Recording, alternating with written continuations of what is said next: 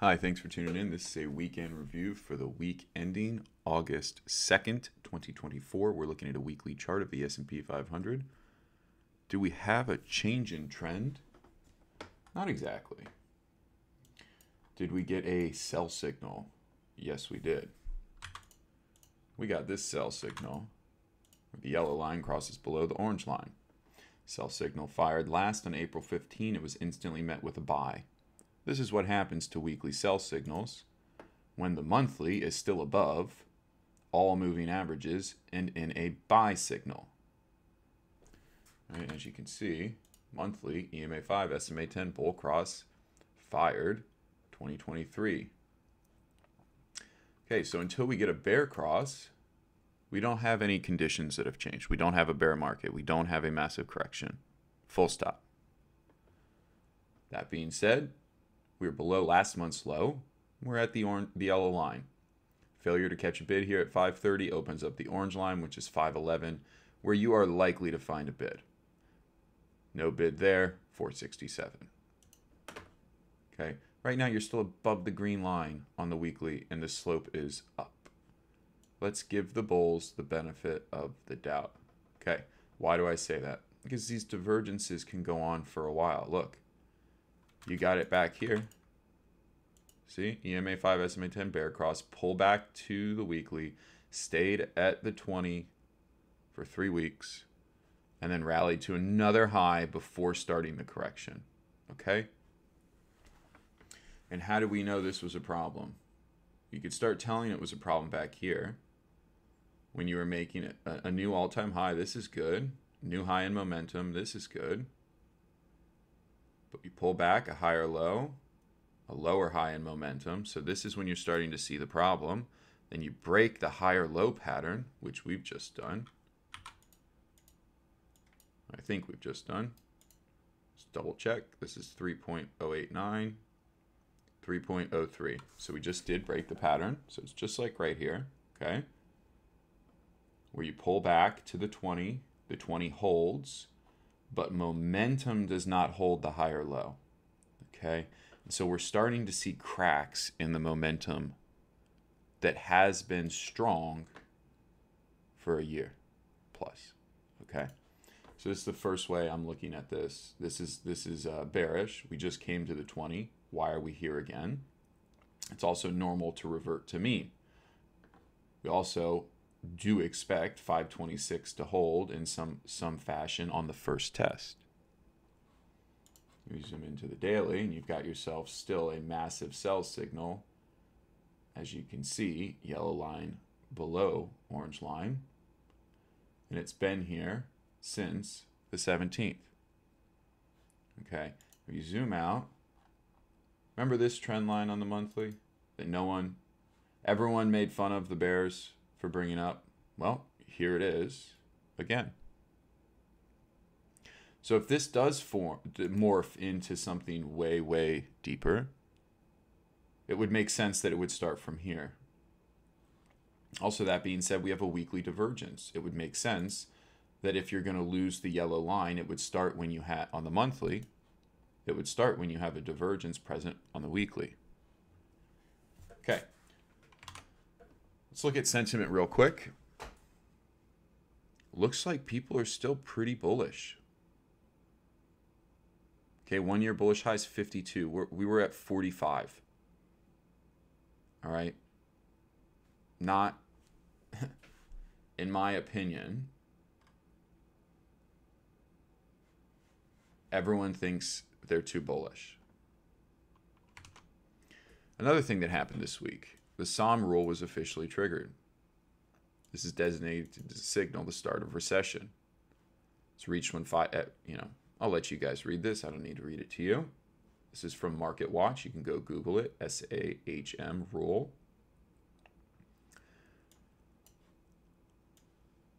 Take a read, okay? Predicts recession. Let's take a look at some of the intermarket analysis. You know the ones I like. Are we seeing a flight to safety? We certainly are. Okay, you see this blue line that was holding since the lows in Q4 2023? Well, they broke. And you now have this, you see this green rising above blue. You now have green falling below blue.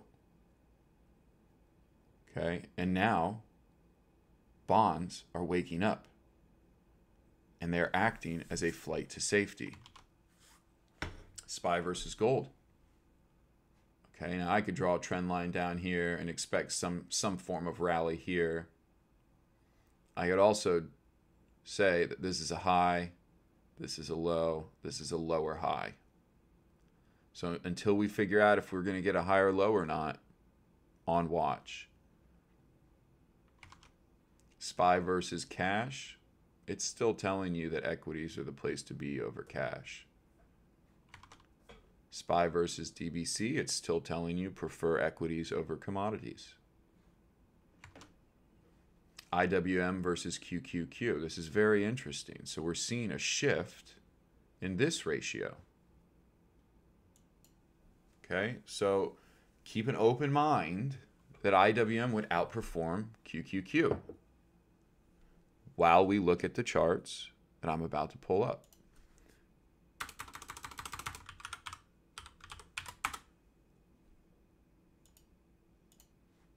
Keep an eye that SMH may underperform SPY. Why? Well, the same green cross above blue that we got back here, little bear trap right here, just got triggered again. And this time momentum is, a, is in a much worse situation. So just another thing to keep in mind.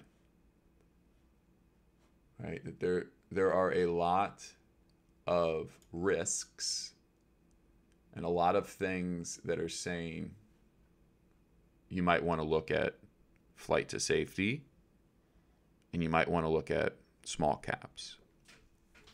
Okay. That being said, let's look at some more charts. IWM versus SPY. All right, is this another bull trap? Just like right here? It's possible. We're gonna have to see that one play out. Okay, here's here's the last chart I want to share with you. This one came from McClellan Financial Publications. He's noted and has noted this and studied this for quite a while. He's also the guy that developed the McClellan oscillator that every time the green two year T note yield gets extremely ahead of the black line, which is the Fed funds target, you get a very, very serious problem. Okay. So right now, the Fed, the bond market don't agree. And this is why you're going to hear lots of people saying the Fed should have cut rates this week. I myself agree. All right, so let's take a look at the charts again. So here we go. We've already reviewed SPY. Let's take a look at the leader, SMH. She's done. A clear break of a trend line, a, a, a clear break of the 20, could rally back to 239 in the coming week, which is the 20 before ultimately falling down here to 200. She could also just gap lower and fall right to 200, which would set up left shoulder, head, right shoulder type of thing, creating the neckline right here. Okay, we have the divergence, we have the break in momentum, okay, just like you had back here and we have the subjective pattern of a head and shoulders setting up, meaning rallies to 230 and to 240 are for selling until we can negate this. Dips into 198 and this blue line for buying. Another thing of note is look at what happened here with this massive volume spike after this massive run up. Okay. Like these big red bars are not good you don't want them on the chart and they signal a change in character. Okay, this is the leader. It looks very weak. If you look at the monthly, look at where she's finding supply. Does this make sense? The same problem SPY is having. SMH is the leader in SPY.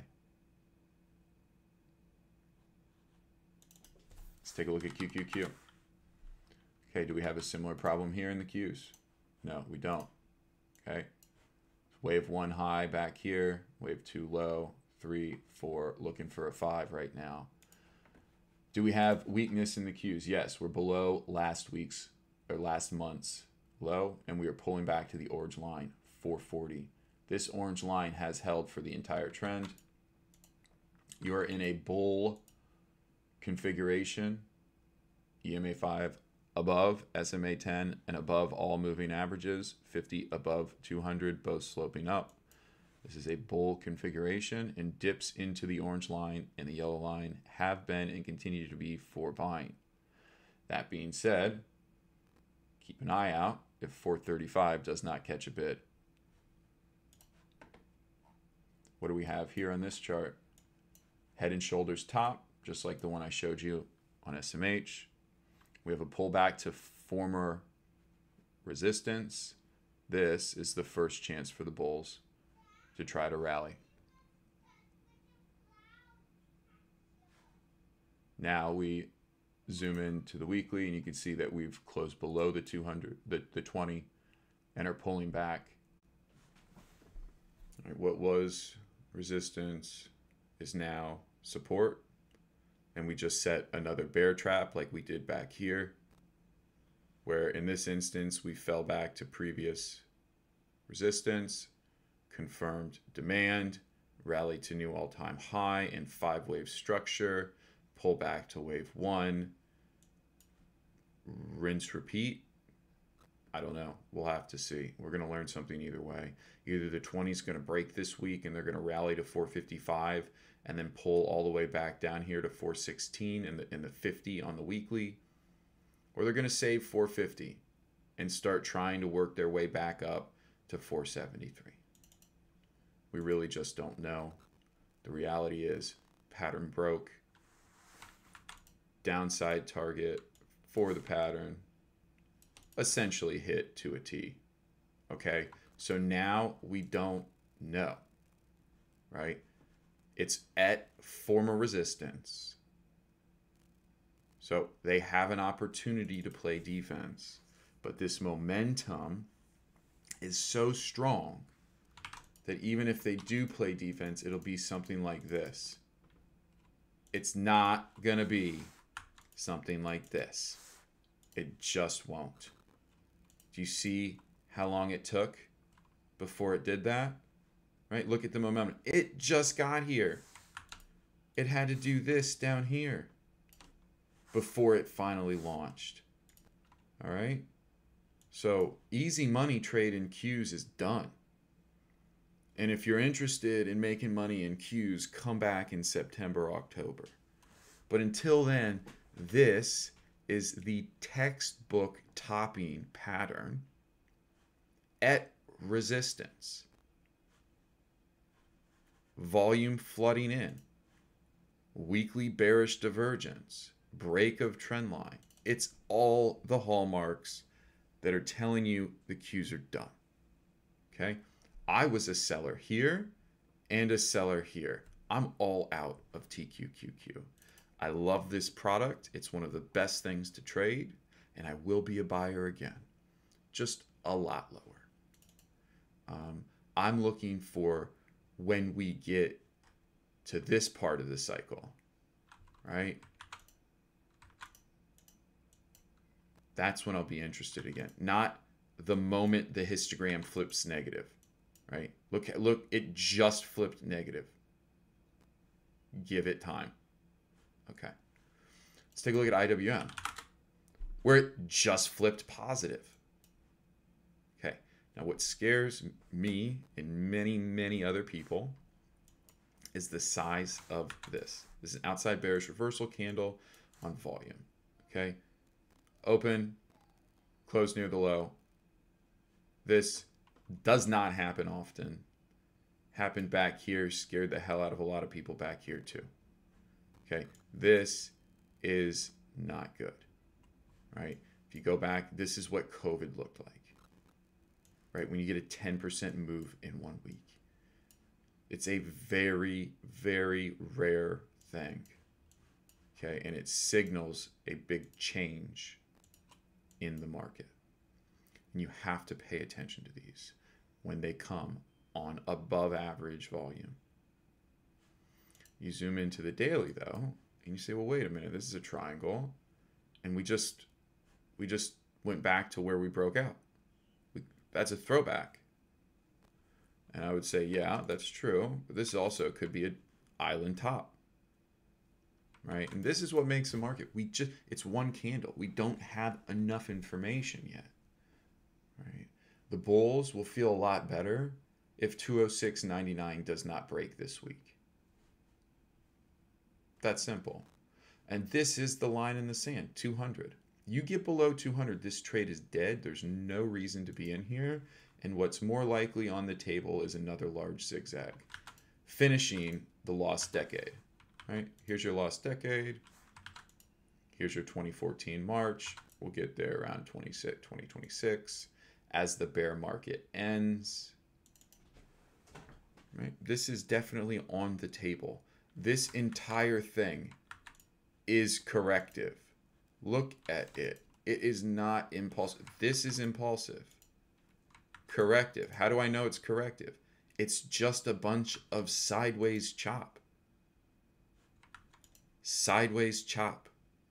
Okay. It's a correction.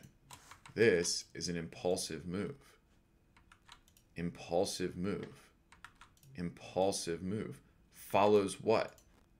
Correction. Okay. So right now we have whether we want to say impulsive move down, I don't know. But we can certainly say massive correction. And until she can get above 250 and set and start marching to all-time highs, it's still a correction. Now where do we sit from from the ledger on the monthly? It's in a bull mode. Bull configuration, bull trend on the weekly, bull trend on the daily, just fire to sell. Okay, so looks very different than the others. Let's take a look at IYT. And this right here is the biggest red flag. So either A, your ABC just finished, or B, this thing's about to get real ugly. And this gap right here is a breakaway gap and is signaling the start of another one of these. Okay. IYT, avoid. Right? Trapped. Everyone again. Right here. Hey, look, new all time high. Hey, look, cup and handle, right? And maybe this is the handle, and maybe this is it. The 20 holds, the 50 holds, so 60 holds, and that's the end of the bear. Right? That's that fits nicely with the IWM's going to rally here off of 203, right? Capture this level, pull back, leave. It's entirely possible. I keep an open mind. Let's take a look at those flight to safety candidates I showed you earlier. Well, this is clearly a downtrend, and this has done nothing in damn near 40 years, or 20 years at this point. Okay. That being said, left shoulder, head, right shoulder. I don't like this pattern when it's when it's collapsed like this. I prefer this pattern when it's if I must show you the, the NVIDIA example, I will, right? But this pattern here, left, head, right, when it's basically all at the same level, okay? It was off by mm, not even a dollar. Okay, now the difference with TLT in this pattern is that the difference here is 109 and our neckline break down here at 94. Well, she could travel 17% and still not even hit this, right? Putting in a left shoulder, rounding out the neck, pull back again for the right shoulder, right? So it, it's just so early. I can't really tell. But what I will say is this is a breakout. This is a textbook breakout. The 100 to 110 are the targets, and that you haven't missed anything. This is a breakout. Buy the dip in bonds it's a breakout. Where are we looking for this to end? Either at 100 to 109. I can't tell. Take a look at gold. GLD, breakout, buy the dip where? Anywhere. Any dip into 200. Any dip you get. This is an uptrend. I don't know what else to tell you. This is congestion, broke above. Any pullback that you get, any weakness into 194, into 200, you buy the, the I am buying this dip. That's what I'm doing. And when I see these these ratios flip and the flight to safety trade kick in, you got to pay attention. Okay? I want to talk about FSLR, one of the more interesting trades. But look, I mean, I, I fully anticipate the 20 to hold, but the 20 just was lost. Okay. Could be pulling back here to 188 and 179. But is doing a lot better than some of these other names. All right, Nvidia already down 30%. When I, you know, was looking at Nvidia 3 weeks ago or uh, FSLR 3 weeks ago, She's she's green from that area, right? Three weeks ago, for any tech name, is down 20%. So that's been one nice place to hide. But in general, it's TLT and gold. There isn't really a stock that you can buy. I mean, there's XLU. Utilities are outperforming. Talked about this. XLC was outperforming and then is putting a nasty, nasty candle here on the weekly. Healthcare is outperforming. So these are the sectors in the S&P that are doing well, which is why SPY is, is only down a few percent, 5% at this point. While SMH, the leader, has officially entered a bear market. It's already down 23, 24%. And I wanted to end the video here by reviewing the VIX. If you take a look at the weekly, we have a little bit of an upper wick here price got all the way up to the 30s.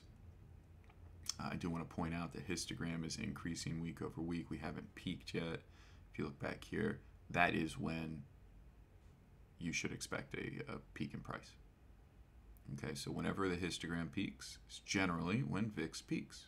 You can go back and review this for yourself. So right now it's still increasing week over week. Until we have a decline we cannot say that it's peaked. Looking at the daily, we have a massive gap up above all the downtrends. So to me, this is a clear break and this is a clear change in character. And if you look at the monthly, you can expect sellers up here in the 30 to $50 range. It's a massive range and the way that they're moving this, I would expect them to get there very quickly. I mean, look at what they did in one day. If they do that again, they're at 43. Like literally, they could do it. To, they could do it on Monday. Okay, and they could get all the way up here to the extreme where you would anticipate a low in equities. All right, it's also possible that price is contained here by this little downtrend that, that we have. And as long as pr price stays below 26, uh, this thing is pretty capped. That was your spike in fear. That's your low in equities, and we'll move on from there. I don't have enough evidence to support that yet. Okay? We just have a big wick on the daily. The point of me bringing this up is just to show you that fear has returned. The conditions are ripe, right, for a rise in the VIX. And while she's above 20, the risk is to the downside for equities. Below 20, buy the dip. As soon as we get above 20, you have to be very careful and wait on the sidelines or in the flight to safeties until we have signs that it's over. Okay, now, maybe that was Friday. I don't know. I don't have enough information yet to tell you one way or another. I can just say that when you get these massive gap ups, massive runs on the VIX, you need to be careful. And the higher she gets above 30, 40, 50, these are this is where she's historically bottomed. Right? Even during the 08, she got up to 90. Okay, during uh, March of 2020, all the way up here to 86. Maybe she's going to 80 again. I have no idea. But as you can tell, it's, it's very rare for her to get get and stay above. On the monthly here, I mean, she, she rarely has done it. Lots of wicks into the zone. Lots of wicks. Okay, rarely does she get above and stay above. So we got to see what, what happens here. But she's getting into that $30 range. And it's something to watch out for. Uh, that being said, I hope you like the content. I hope you like the video. And I'll see you guys later.